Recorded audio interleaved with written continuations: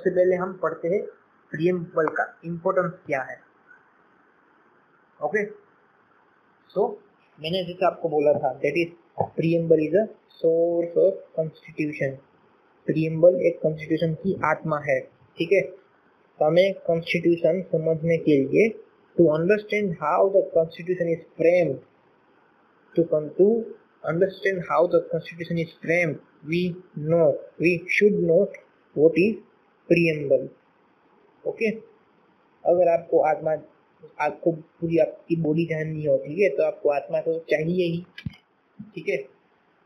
तो इसी तरीके से हमें अगर कॉन्स्टिट्यूशन को समझना हो तो हमें चाहिए प्रियम्बल की understanding okay?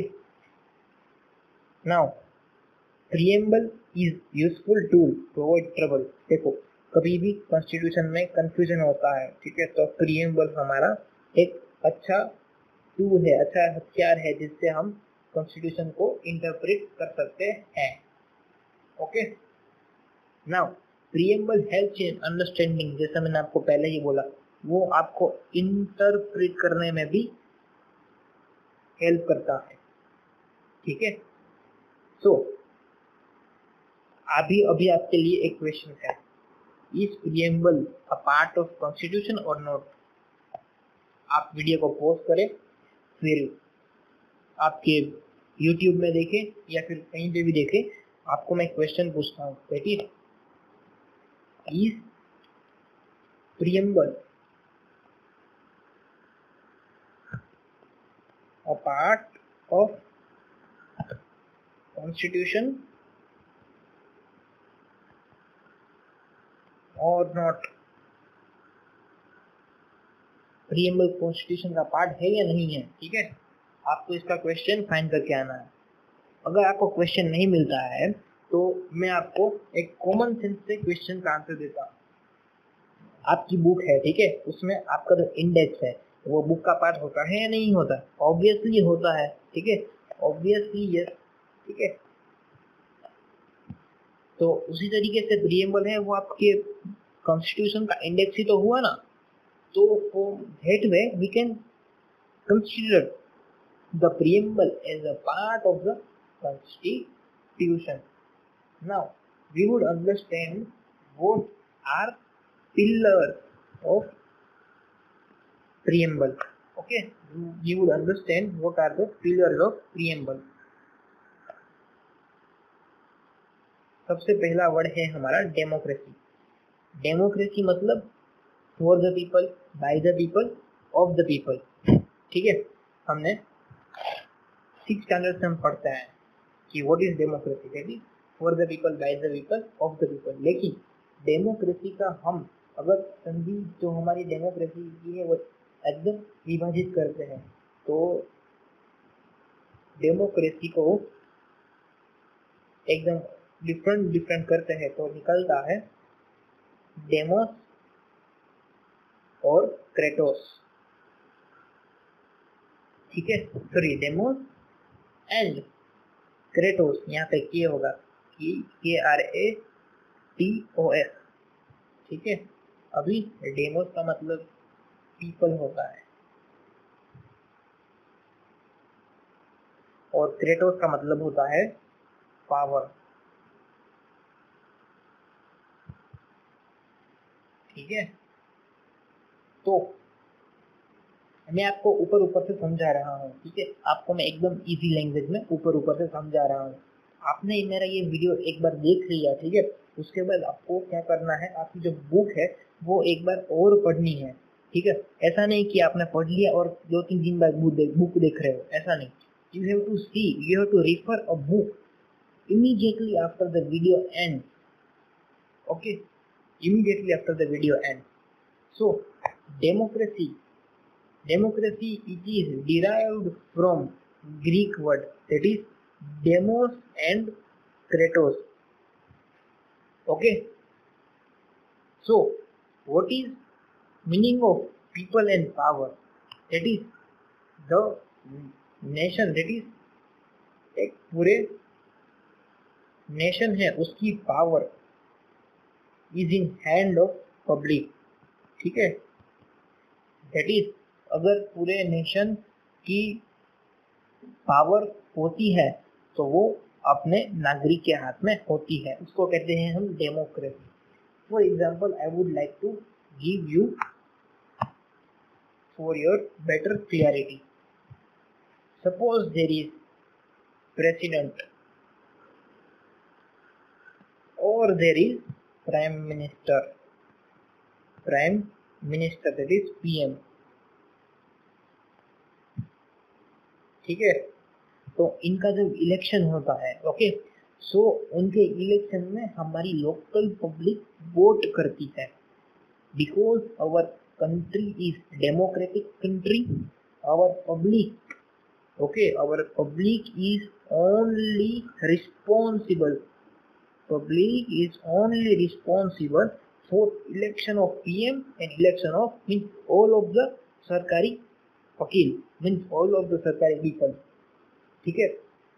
उसका मतलब क्या हुआ?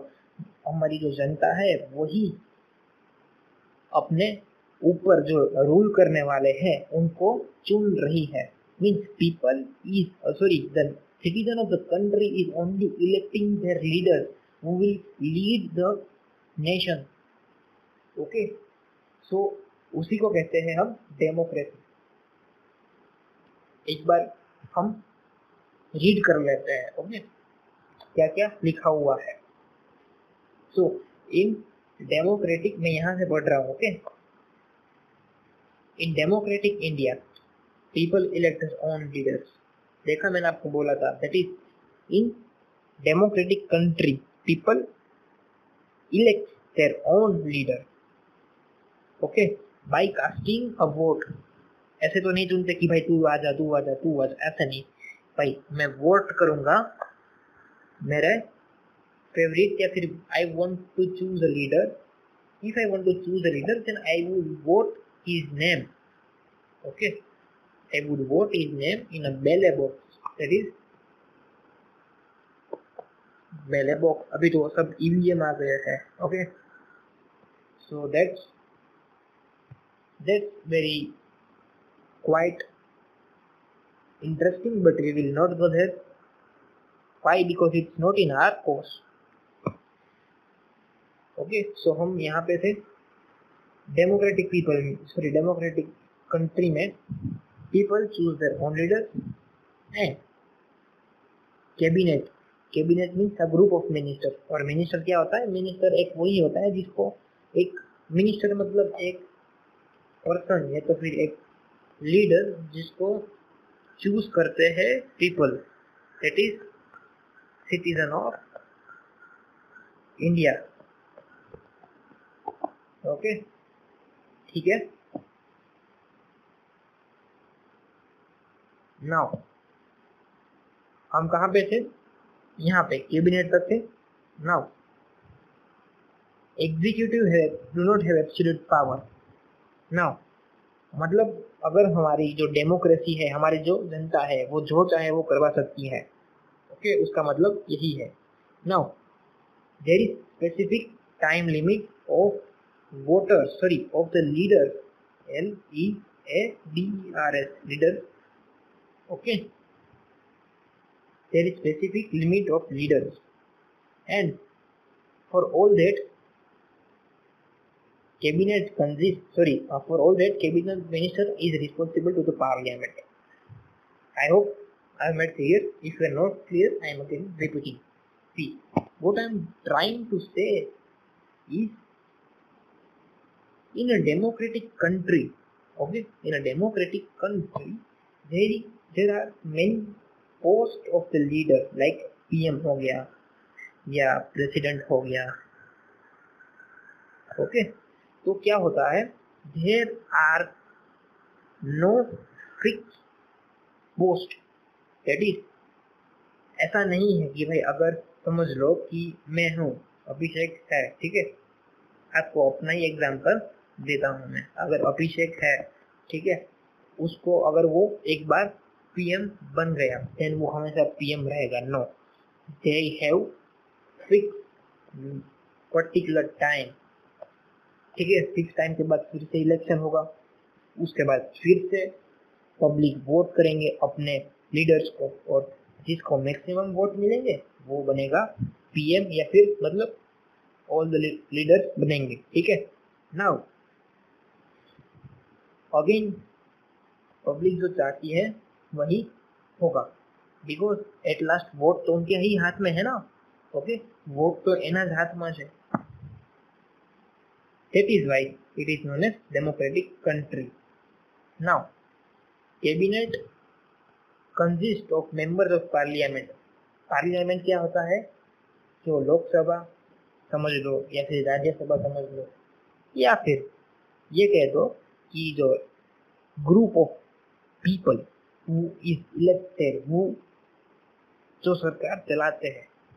उनको कहते हैं members of parliament which is the group of people of Lok Sabha plus Rajya Sabha plus president also okay cabinet consist of member of parliament okay now अभी क्या दिया हुआ है? That is cabinet minister is responsible for parliament. Now any indian citizen who wants to elect their leader have 18 years of his age. Okay I hope आपको इतना समझ में आया होगा। मैंने क्या क्या बोला आपको? सबसे पहले डेमोक्रेसी का आपको मीनिंग बताया डेमोस और क्रेटोस ठीक है? उसके बाद आपको ये भी बोला कि डेमोक्रेसी होता है, उसमें से आपके जो लीडर्स है, ठीक है? आपके जो लीडर्स है, वो कैसे चूज़ होते हैं? फिर आपको मैंने थोड़ा बहुत कैबिनेट का भी बोला कि भाई कैबिनेट होता है, वो एक ग्रुप होता है, ठीक है? किसका ग्रुप होता है? मेंबर ऑफ़ पार्लियामेंट का, ठीक है? मेंबर ऑफ़ पार्लियामेंट कौन होता है, वो भी मैंने आपको बोला, ठीक है? उसके बाद मैंने आपको क्या बोला कि अगर कोई सिटीजन है ठीक है? सिटीजन को वोट करना है तो उसकी मिनिमम एज क्या होनी चाहिए? 18 इयर्स ठीक है? तभी तो हमारी गवर्नमेंट बनेगी और तभी वो वोट कर सकेगा। ठीक है? तो मैं कहना क्या चाहता हूँ कि पर्सन हमारा है, वो 18 ईयर के बाद ही वोट कर रहा है। तो क्या मैं ये कह सकता हूँ कि वो पर्सन के अंदर थोड़ा तो माइंड होगा कि भाई मुझे ये सही है, मुझे वो गलत है, ये सही करना चाहिए, ये गलत करना चाहिए।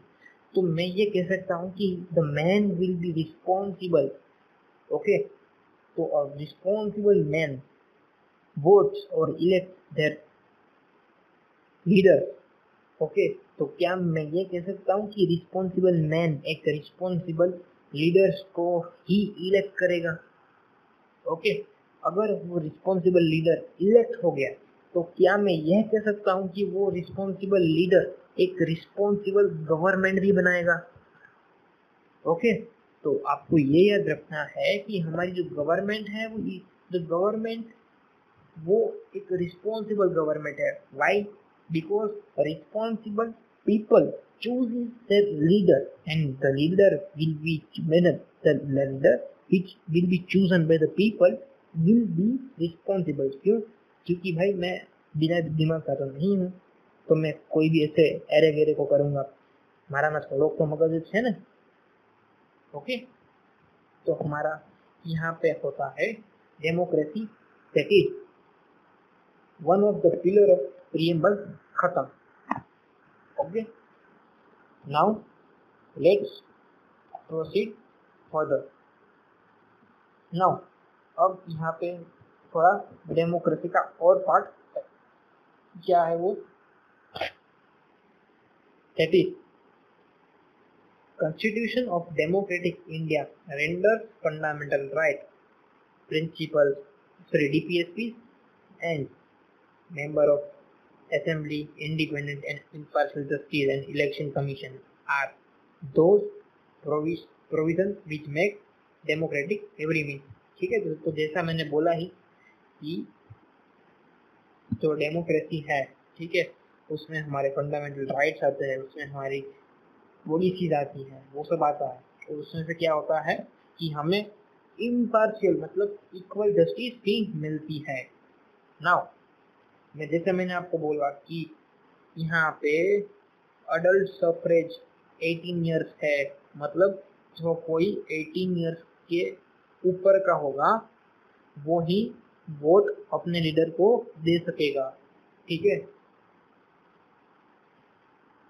आपको मैंने आसान भाषा में समझा दिया है that vote is democracy that is for the people by the people of the people now let's move to second pillar of preamble okay मैं आपका ज़्यादा टाइम नहीं लूँगा. There are only three pillars that is socialist sorry socialism secularism and democracy उसमें से हमारा एक तो खत्म हो गया. दो बाकी है. Okay now the word socialistic और socialism that is socialist It was not previously mentioned in the preamble. It was added by 42nd amendment. अब आप बोलोगे भाई what is amendment amendment is simple change change in constitution. Change in constitution. Okay? आप मेरी spelling mistake जरा ignore कर देना. Okay because I am writing in hurry so it might have some different spelling but ensure that I am speaking only right word. ठीक देखो, हमारा socialistic एक जो वर्ड है हमारा it was not mention initially at the time we adopt constitution but now it was adopted in forty second amendment when was the forty second amendment done it is 1976 अभी मैं आपको trick बताऊँ, कैसे याद रखना है? ओके हमारा जो 47 सॉरी 40 फोर्टी सेकेंड अमेंडमेंट हुआ है, ठीक है? Forty second amendment. उसको कैसे याद रखना है? मतलब उसका जो ईयर है, वो कैसे याद रखना है? उसका ईयर क्या है? 1976 तो आपको क्या याद रखना है? लास्ट का दो सॉरी लास्ट का एक डिजिट तो सिक्स है। देखो सिक्स कैसे आया है? फोर प्लस टू ठीक है? फोर प्लस टू मुझे यहाँ भी मिल जाएगा। तो फोर प्लस टू मैं करूँगा तो मुझे यहाँ सिक्स मिल जाएगा। ठीक है? फोर प्लस टू क्या होता है? सिक्स होता है। और मुझे यहाँ यूनिट डिजिट में क्या मिल रहा है? सिक्स मिल रहा है। ठीक है? तो मैं ये कह सकता हूँ कि मेरा फोर्टी सेकेंड अमेंडमेंट है। ठीक है? वो 1976 में है। ये ये मेरी खुद की एक टेक्निक है। That is how to remember the year okay बच्चों को ईयर याद करने में बहुत दिक्कत आती है। दैट इज़ सिंपल है। देखो फोर्टी सेकेंड है हमारा फोर्टी सेकेंड तो देखो, हमने पहले के तीन है, ठीक है? पहले के जो तीन तीन लेटर है, वो याद नहीं रखना है।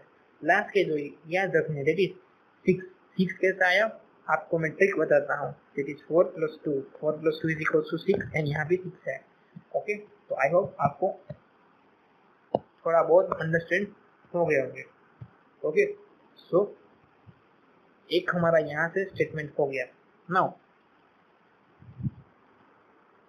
तो अगर आपको मैं सोशलिस्टिक का मीनिंग बताऊँ सोशलिस्टिक मीन क्या होता है? वेलफेयर ऑफ़ स्टेट ओके जैसे आपको मैं बताऊँ that is most of the provision in the constitution of India shows the social revolution and broad the social and economic equality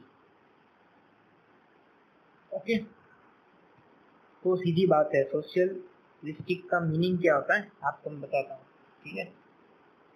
तो सोशलिस्टिक है हमारा, उसका मीनिंग यही होता है कि अगर भाई एक ये बंदा है या फिर एनी सिटीजन है तो उसका यही काम है कि he should led his life वो अपना जीवन ऐसे जिए कि अपने नेशन का भी वेलफेयर हो सके, okay? Welfare of nation that is welfare of nation तो उसको क्या कहते हैं? सोशलिस्टिक अप्रोच ठीक है? तो मैं आपको, मैंने आपको ये बोल दिया कि vote is mean by socialism socialism mean एक हमारी सोसाइटी है, उसको हम वापस देने का जो कुछ रख, रखते हैं या फिर करते हैं प्रक्रिया, उसको कहते हैं socialism approach socialistic approach now ये जो हमारा सोशलिस्टिक पैटर्न है, ठीक है? It is given in preamble आपको ये पता होना चाहिए। Now it reflects that India is committed to social economical and political justice ठीक है? इसकी एक एक और भी डेफिनेशन है, ठीक है? That is all the citizen of India that is सब नागरिक ऑल नागरिक को हम इक्वल जस्टिस देंगे। ठीक है, उसका एक एक डिफरेंट मीनिंग होता है जो मैंने आपको बता दिया। एक मैं आपको और मीनिंग बताता हूँ ओके क्या था? दैट इज़ सोशलिस्टिक उसका मीनिंग क्या होता है आपको मैंने सबसे पहले क्या बता दिया? Welfare of state welfare of state मतलब स्टेट के लिए अच्छा कुछ करना है। स्टेट मतलब नेशन होगा यहाँ पे ओके सेकेंड मीनिंग ये था आपका कि सेकेंड मीनिंग आपका क्या था? आप याद करो। क्या था? दैट इज़ सबको इक्वल जस्टिस हमें देंगे ओके इक्वल वो भी इक्वल जस्टिस हम सबको देंगे। ऐसा नहीं है कि भाई अगर ये हमारा सिटीजन हो गया तो इसको हम नहीं देंगे। वो वहाँ का है नॉर्थ ईस्ट का है तो हम नहीं देंगे। नहीं। Socialistic approach mean all the citizen are equal in the eye of constitution इसीलिए तो हम कहते हैं कि ये अंधा कानून है। ओके नाउ उसका एक और मीनिंग है, ठीक है? उसका एक और मीनिंग भी है। दैट इज़ हमारे कंट्री में बहुत सारे रिसोर्सेज है, ठीक है? रिसोर्सेज है जॉब्स है पोस्ट है, इसके लिए तो के नौकरी भी है, ठीक है? तो सोशलिस्टिक का मीनिंग ये है कि सब नागरिक के लिए, सभी सिटीजन के लिए हमारे पास नहीं सॉरी सॉरी सॉरी मैं रिपीट करता हूँ, ठीक है? हमारा जो भी सब सिटीजन है ठीक है? उनके पास इक्वल राइट्स है, ठीक है? सब सब हमारे सिटीजन हैं, उनके पास इक्वल राइट्स है कि वो सब पोस्ट पर अप्लाई कर सकते हैं, सब पोस्ट पर अपनी जो एप्लीकेशन है वो दे सकते हैं। नौकरी नौकरी के लिए भी सबके पास इक्वल राइट्स है। ऐसा नहीं है कि भाई तू छोटा है या तू बड़ा है तो तू नहीं ले सकता no okay so all the resources of the nation okay? All the resources of the nation is consist of having similar rights or the same rights okay? That is all the citizens of nation is having a equal right equal rights to have the resource to use the resource equally, ठीक है? आपको सबसे best example देता हूँ। आप अगर village में जाओगे there will be water tap public water tap okay तो उसमें से हमें पानी भरने से कोई मना नहीं कर सकता। Be it Muslim be it Hindu be it any of religion ठीक है? तो वो क्या हुआ? एक रिसोर्सेज हुआ, ठीक है? तो वो क्या हुआ? रिसोर्सेज हुआ। तो मैंने क्या बोला कि उसका एक डेफिनेशन ये भी है कि all the citizen have equal right have equal right to use the resources okay आपको अगर ये समझ में आ गया होगा then the thing would be get clear okay तो यहाँ मैं यही बोला, ठीक है? आप एक बार ये जो लिखा हुआ है आपकी बुक में, वो एक बार रीड कर लेना। मैंने जो बोला, वही है। बट एक बार आपको फिर भी बोल देता हूँ, जो हमारे पास सोशलिस्ट जो वर्ड है वर्ड है, ठीक है, उसको हमने अडोप्ट किया था? In forty second amendment which was done in 1976 okay the it now welfare of state there is also other meaning that is providing equal justice okay providing equal justice to all and it has also uh, another meaning that is having seats if there is if there is a resource any type of resource resource means job भी हो सकता है seat train की seat को भी हम resource गिन सकते हैं that is if any resources is there then everyone have equal opportunity that is equal rights or opportunity to make it. Okay? सबके पास इक्वल अपॉर्चुनिटी है या सबके पास इक्वल राइट है? वो एंजॉय करने के लिए। ठीक है? उसका बेस्ट एग्जांपल है आपका टेंथ का बोर्ड वो भी एक रिसोर्स को रिसोर्सेज ही मान लो आप।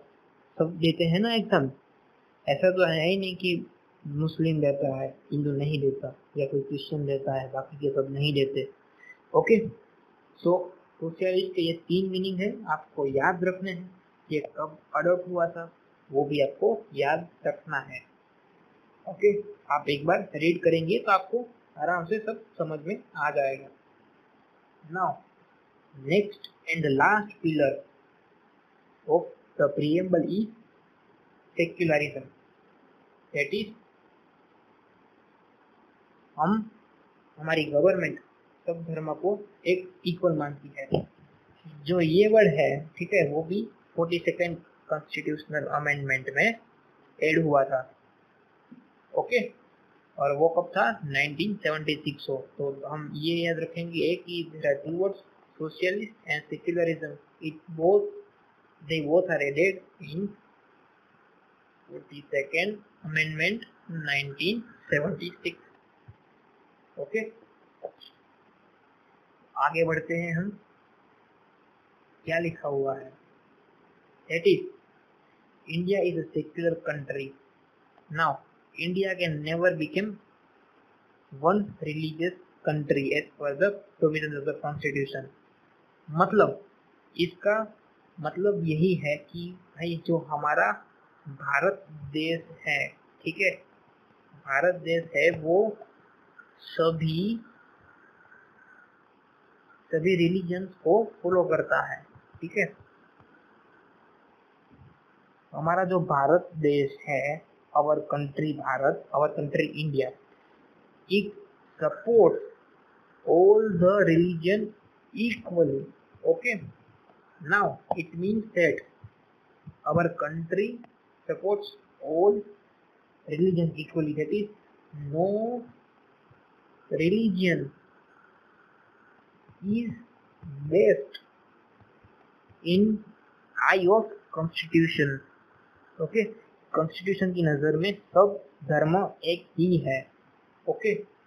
और सब धर्मों के लिए इक्वल रिसोर्सेज अवेलेबल है. ओके मीन उसका मतलब सपोज़ कर लो.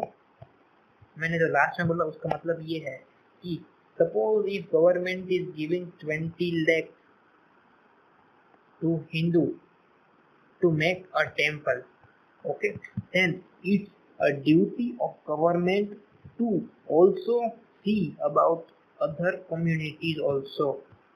Okay? मतलब अगर हमारी सरकार कोई हिंदू टेंपल को बनाने के लिए 20 लाख देते हैं देन उसकी ये एक उसकी एक ड्यूटी है कि वो जो बाकी के जो रिलीजन है उनके देश में वो उसका भी ख्याल रखे। Okay so it's main meaning was that only Now let's proceed for the what's written that. That is, uh, India does not follow any particular religion मैंने बोला ना इंडिया के लिए कोई पर्टिकुलर रीजन बेस्ट नहीं है। सबके लिए इक्वल ही है। ओके तो इंडिया किसी भी धर्म को प्रमोट नहीं करता। बस सबको इक्वली प्रमोट करता है। Okay now in next sentence it's written that मैं आपको अगर थोड़ा जूम करके भी दिखाऊँ, ठीक है? तो इसमें लिखा हुआ है कि the citizen has equal right okay क्या था यहाँ पे? हमारे सिटीजन है, उसके पास इक्वल राइट है कि आपको जो भी रिलीजन चूज़ करना हो, वो चूज़ कर सकते हैं। तो आपकी एग्ज़ाम में क्वेश्चन आ सकता है, ठीक है? That according to which word according to sorry according to which word our our citizen can adopt any religion means according to which according to which word all the people of India have right to adopt any religion that is secularism उसका मतलब उसका answer यही होगा okay I hope आपको समझ में आ गया होगा नेक्स्ट थिंग क्या है कि हमारा जो देश है, ठीक है इट बिलीव इन सर्वधर्म कंदृष्टि एंड सर्वधर्म संभव दैट इज़ ऑल धर्म can happen equally and all धर्म are same that is all religion are same and all the religion can be equally treated okay so our country doesn't promote any particular religion religion but also promote all the religion equally okay? So our video of introduction and some basics about constitution and preamble ends here. Okay? So i wish that you all are getting what i'm saying. If you have any query then do mention in the comment section. Thank you now we have seen basic pillars of constitution. Now we will see basic features of the constitution. Okay? Now let me erase and let's then begin. Now first pillar is written document. It means india or means india britain and israel have constitution in written form, considering the social, geographical, diversified circumstances and all the notions kept drafted in written form. See, it only means that if see it uh, I would like to explain in very easy language. That is there are three countries that is India, Britain and Israel. See, they, these three countries have constitution in written form. Written form in which means that all the laws जितने भी part है all the laws are in one source or one book itself ठीक है?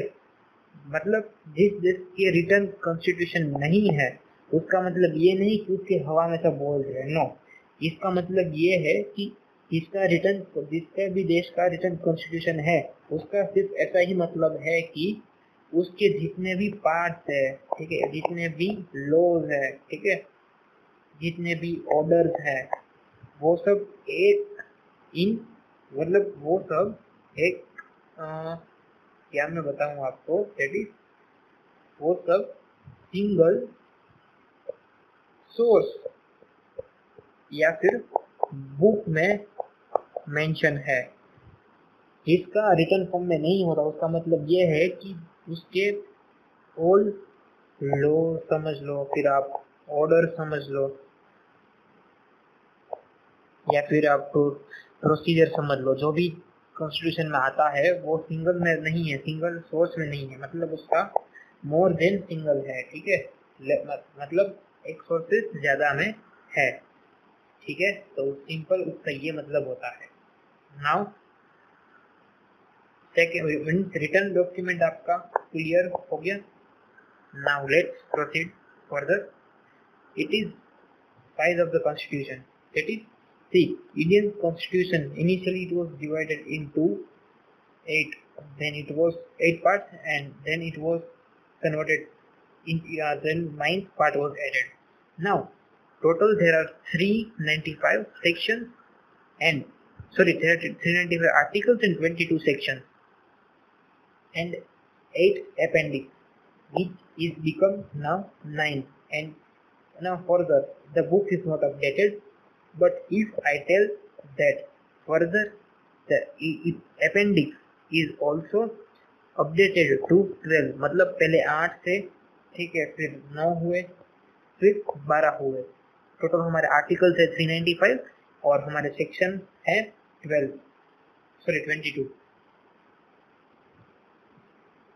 Okay now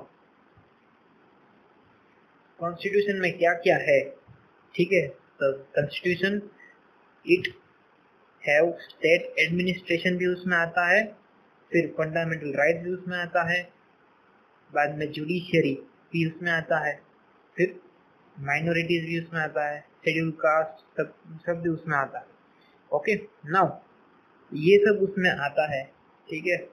ये जितना भी है, आप पढ़ लेना, ठीक है? मैंने आप बोल तो दिया है दैट इज़ जो आपके स्टेट स्टेट गवर्नमेंट कैसे काम करती है, अपनी स्टेट और यूनियन के रिलेशन जैसे आपके मूलभूत अधिकार कैसे है, या फिर डीपीएससी समझ लो, या फिर एग्जीक्यूशन समझ लो इलेक्शन जैसे होता है गवर्नमेंट के इंस्टीट्यूशन जैसे काम करते हैं, जो हमारी माइनॉरिटी लघुमती वाली जाति होती है, वो कैसे काम करती है, ये सब है, ठीक है, ये उसको हमारे वर्ल्ड का लार्जेस्ट कॉन्स्टिट्यूशन बनाते हैं, ठीक है?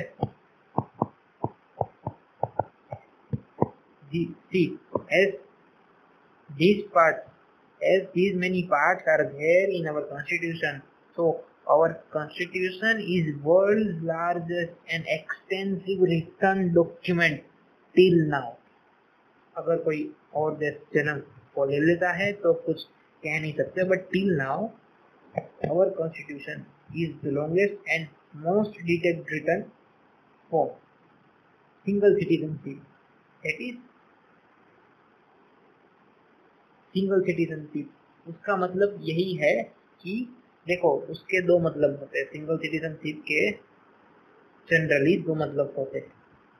फ़र्स्ट थिंग ये है कि पूरे भारत में आपको एक नागरिकता ऐसे मिलेगी कि you are citizen of India और you are citizen of Bharat and second आपको सिटीजनशिप ऐसे मिलेगी कि भाई you are citizen of particular state that is suppose कर लो Gujarat.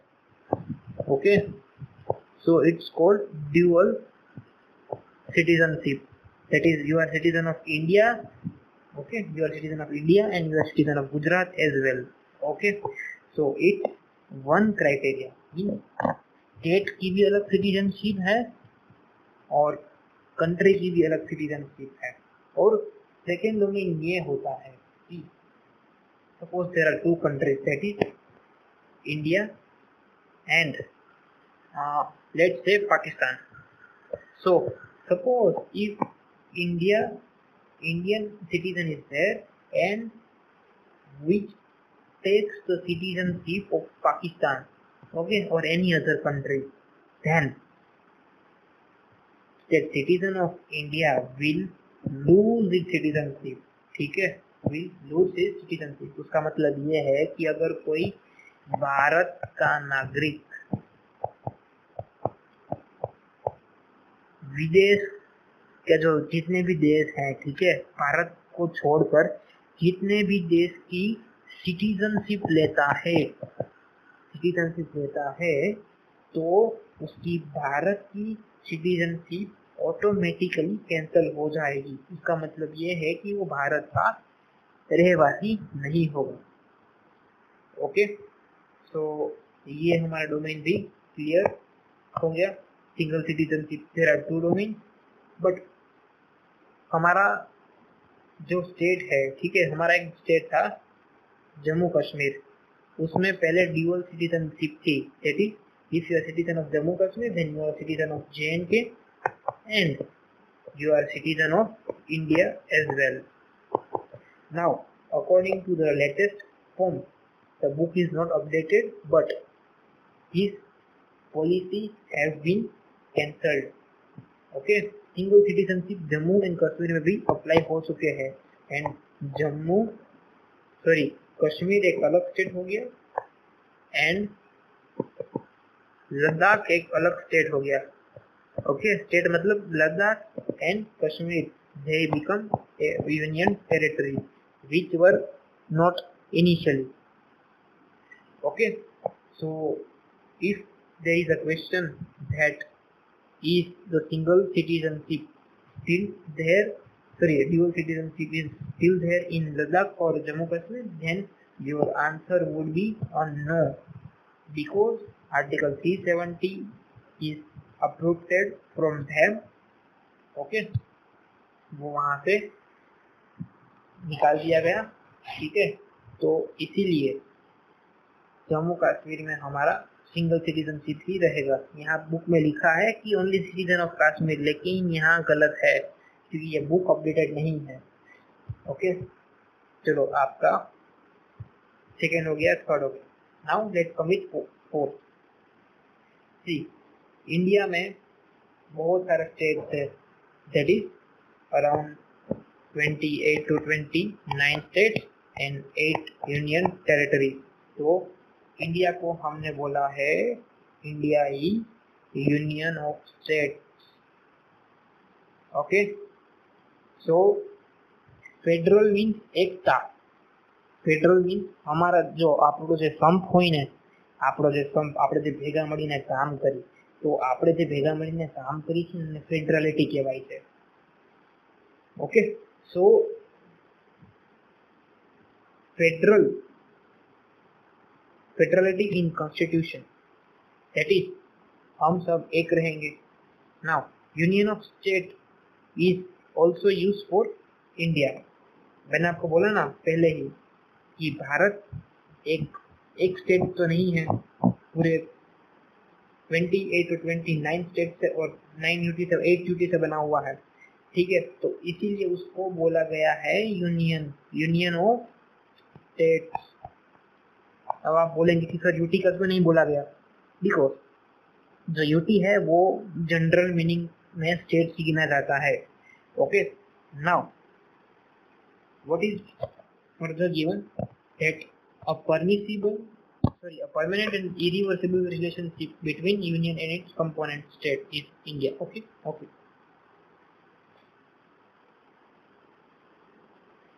देखो मैं आपको फेडरल शब्द का मीनिंग बताऊँ दैट इज़ समझ लो ये है हमारा इंडिया और ये है इंडिया के छोटे छोटे स्टेट ओके देखो फेडरल शब्द का मतलब यही होता है कि ये हमारे छोटे छोटे स्टेट्स है। इंडिया उसका यूनियन है। Okay so in future if this state wants to be out of India it can't be because it's a union and India अपने यूनियन को कभी नहीं छोड़ता। ओके उसके लिए स्पेशल बिल पास करवाना पड़ेगा।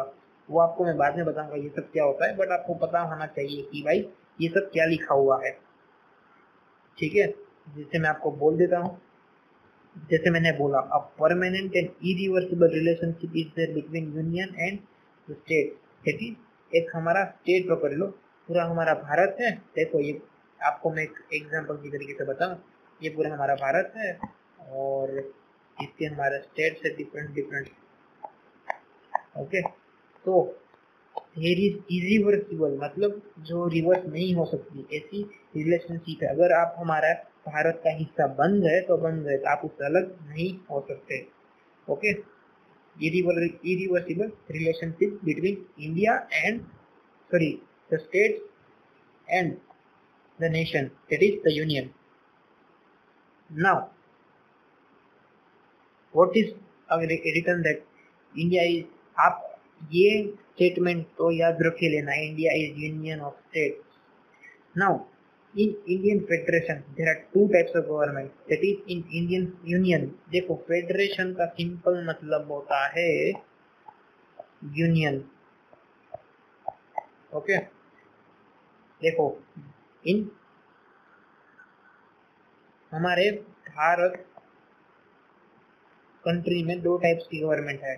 एक सेंट्रल गवर्नमेंट और एक स्टेट गवर्नमेंट ओके सेंट्रल पूरे इंडिया का देखती है और स्टेट गवर्नमेंट एक स्टेट का ही देखती है।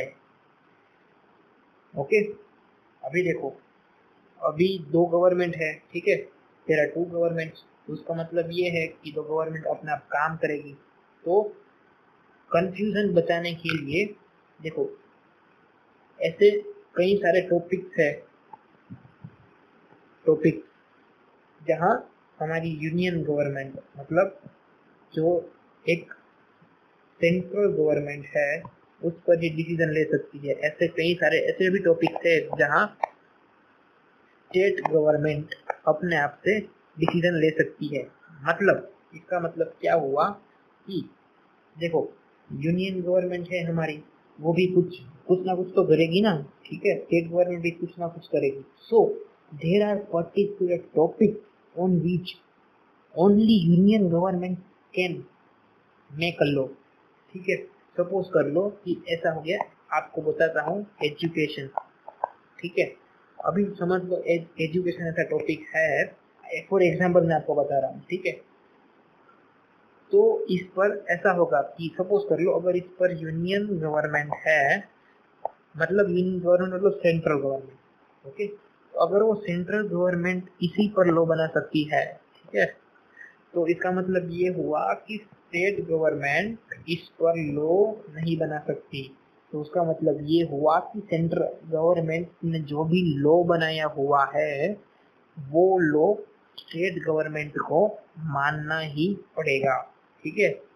नाउ ऐसे भी कई टॉपिक्स है इज़ सब फॉर एग्जांपल आपको मैं बता दूँ कि टैक्स समझ लो, ठीक है? टैक्स तो ये फॉर एग्जांपल आप समझ लो कि ये आपका है हमारा टॉपिक स्टेट गवर्नमेंट का, ठीक है? तो इसका मतलब ये हुआ कि इस पर लॉ सिर्फ़ स्टेट गवर्नमेंट ही बना सकती है और सेंट्रल गवर्नमेंट को उसका लॉ कंपलसरी मानना पड़ेगा ओके कंपलसरी मानना पड़ेगा।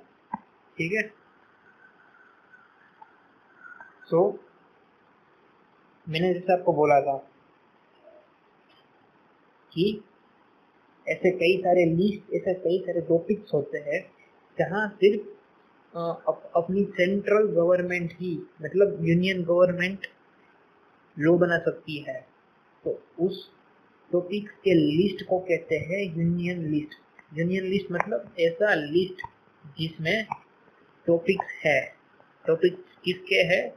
जिसमें यूनियन गवर्नमेंट ही लॉ बना सकती है। स्टेट गवर्नमेंट नहीं बना सकती। ठीक है? और जो यूनियन लिस्ट है, उसमें टोटल कितना है? ओके नाइन्टी सेवन सब्जेक्ट है। एंड उसमें इम्पोर्टेंट इम्पोर्टेंट सब्जेक्ट है like defence foreign affairs okay atomic energy हो गया, फिर टेलीग्राफ हो गया कम्युनिकेशन हो गया बैंकिंग हो गया, ठीक है? तो आप, आपका काम क्या है कि आपका काम ये वीडियो के बाद आप ये वीडियो को पोस्ट करें, फिर देखें कि how many subject are there in union list और इसका मतलब ये है कि अगर हमारी यूनियन गवर्नमेंट सॉरी जी, अगर हमारी यूनियन गवर्नमेंट ये टॉपिक्स पर लॉ बनाती है, ठीक है?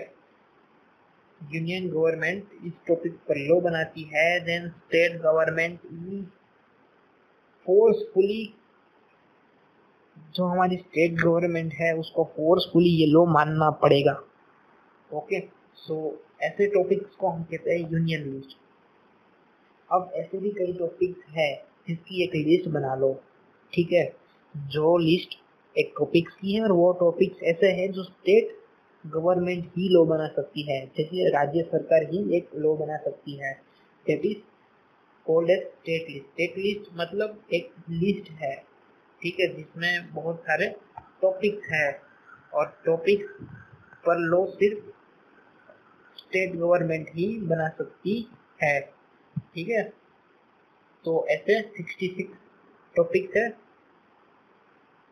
तो उसका मतलब क्या हुआ कि there are 66 topic on which state government can form a law and there are 97 topics in which central government can form a law ठीक है? आप एक बार ये टॉपिक पढ़ लेना।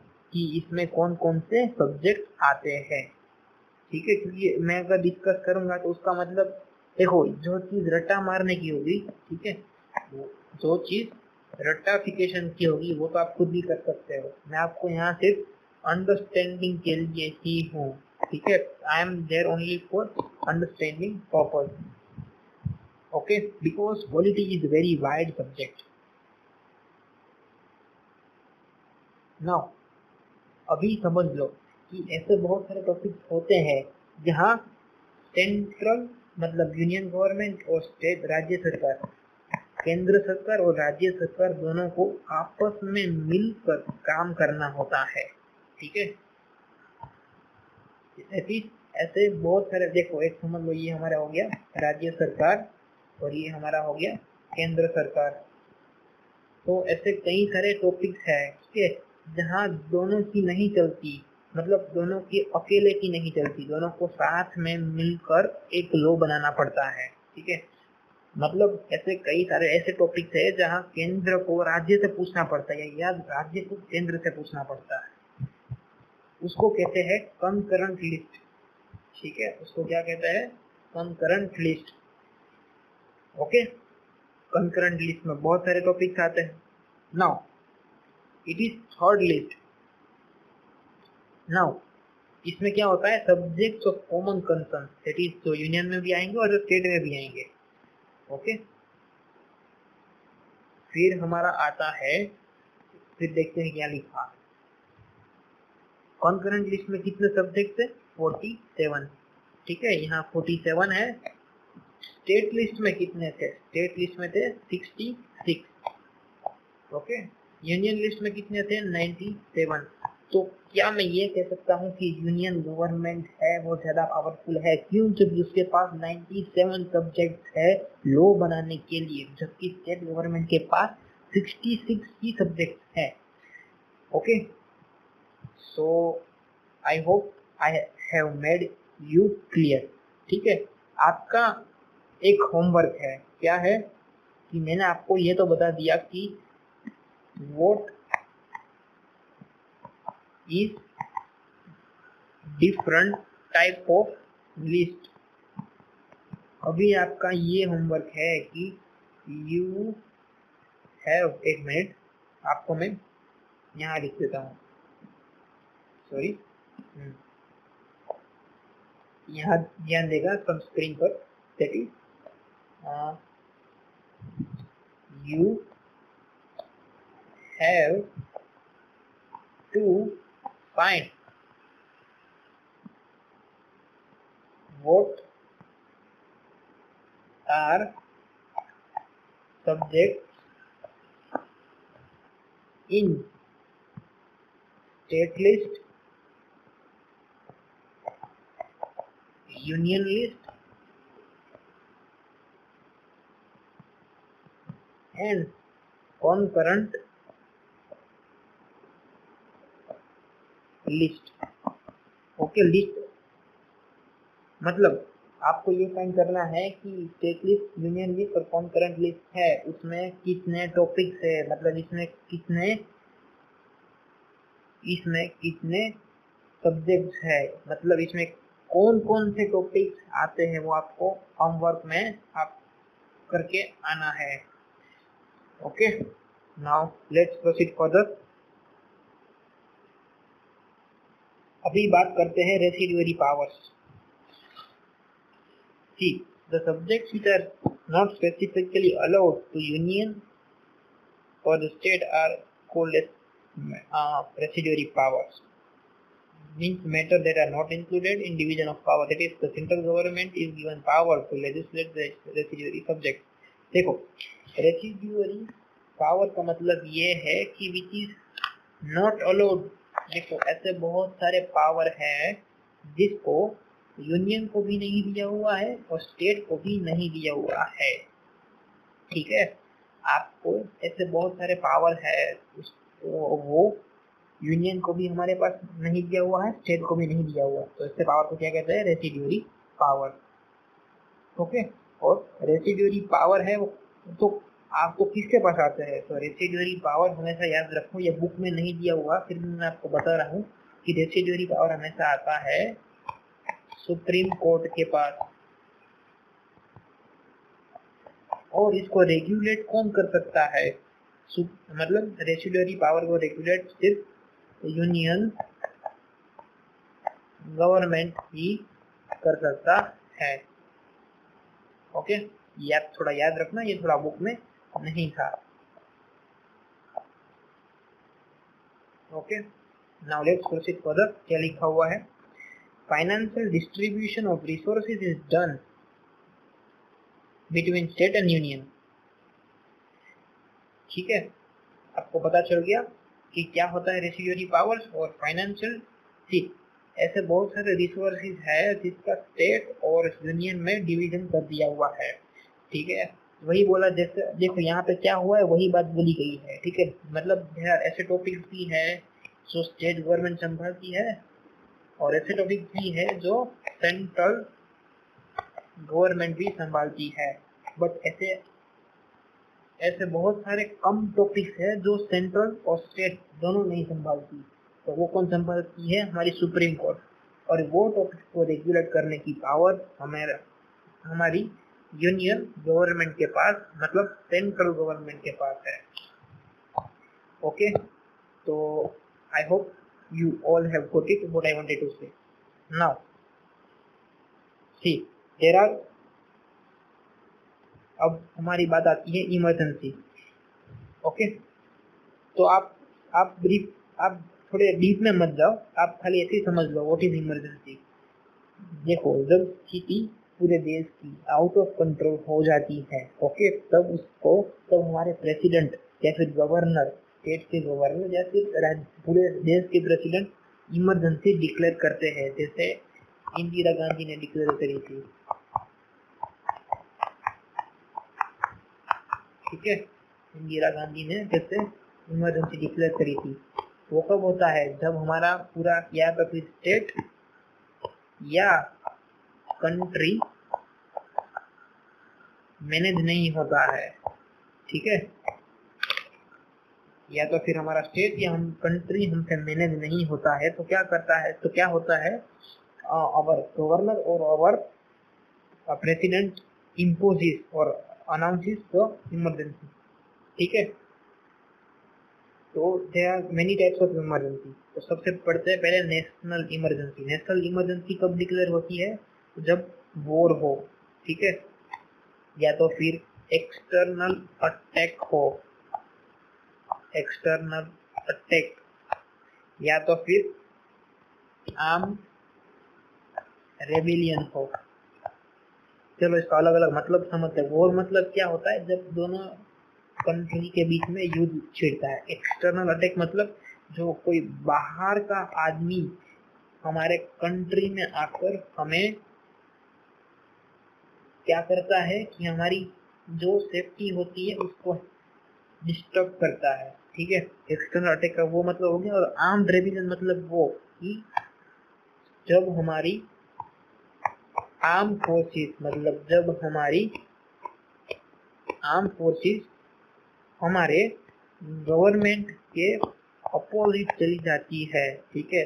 हम जब हमारी आर्म फोर्सेस हमारे गवर्नमेंट के अपोजिट चली जाती है, तब उसको कहते हैं आर्म्ड रेबिलियन ओके तो नेशनल इमरजेंसी इन ही कारण के लिए लगती है। पहला कौन सा था? वोर सेकेंड था एक्सटर्नल अटैक थर्ड था आर्म रेबिलियन तो हमारा फ़र्स्ट हो गया।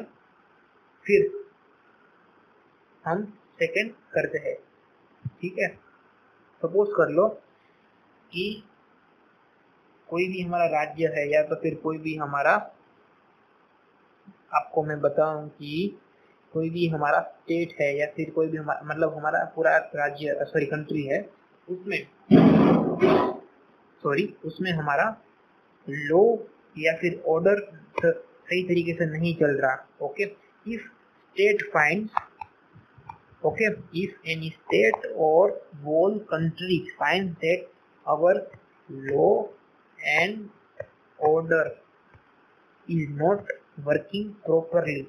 Then emergency आ जाएगी कॉन्स्टिट्यूशनल इमरजेंसी ओके पहले हमने पढ़ी थी नेशनल इमरजेंसी अब यहाँ पे है कॉन्स्टिट्यूशनल इमरजेंसी उसका मतलब यही है कि जब हमारा लॉ और ऑर्डर कोई भी एरिया में फेल हो जाता है तो तब हमारी लगती है कॉन्स्टिट्यूशनल इमरजेंसी ना